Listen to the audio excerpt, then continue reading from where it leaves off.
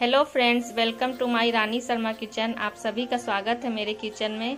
आज मैं आप सभी के साथ शेयर करने जा रही हूँ भटूरे की रेसिपी जो आप सभी को बहुत पसंद आएगी। आप भी इस तरह ज़रूर घर में ट्राई करें और ज़रूर बताएँ कैसे लगी। अगर मेरी रेसिपी पसंद आए तो लाइक और सब्सक्राइब ज़रूर करें। तो चलिए फ्रेंड आज हम बनाना शुरू करते हैं भटूरे की रेसिपी ये देखिए, ये मैंने एक बॉल में मैदा ले लिए ये दो कप मैदा है। अब हम इसमें one four teaspoon baking powder डालेंगे। ये छोटी वाली चम्मच है, हम इससे एक चम्मच डालेंगे।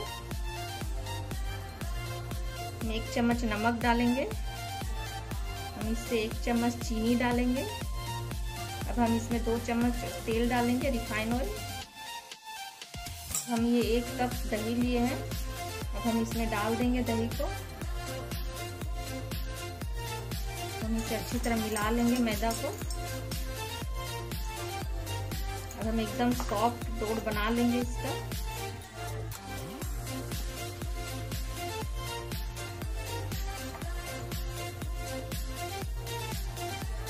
अब हम एक कप में थोड़ा पानी ले लेंगे। इस थोड़ा थोड़ा पानी डाल देंगे अब हम इसमें।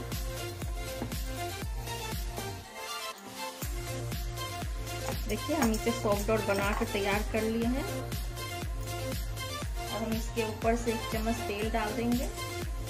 हम इसे एक घंटा के लिए इसे ढक कर अच्छी तरह से रख देंगे ताकि मैदा अच्छी तरह से फूल जाए। रोड हमारी अच्छी तरह से फूल चुकी है, एकदम स्पंजी जैसे हो गई है, देखिए। अब हम इसे अच्छी तरह से मिला लेंगे।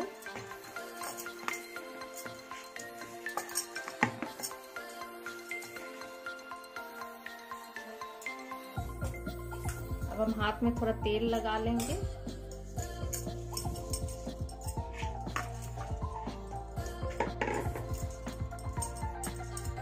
हम इसमें लोया काट लेंगे।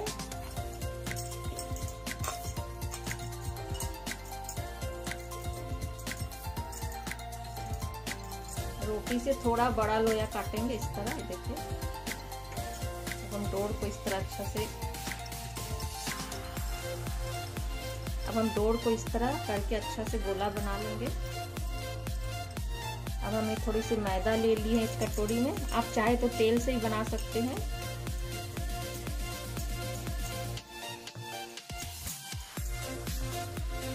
अब हम इसे बेल लेंगे।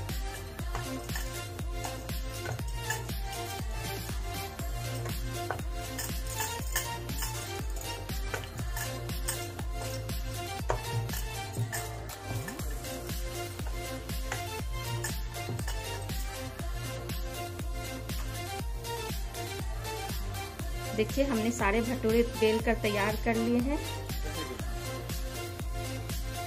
हम इस तरह डालेंगे भटूरे को। अब हम इसे अच्छी तरह से फुला लेंगे। लो फैला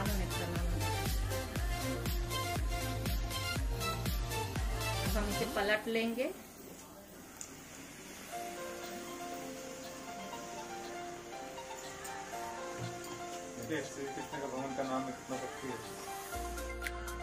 अब देखिए, अच्छी तरह से लाल हो चुकी अब हम इसे प्लेट में निकाल लेंगे।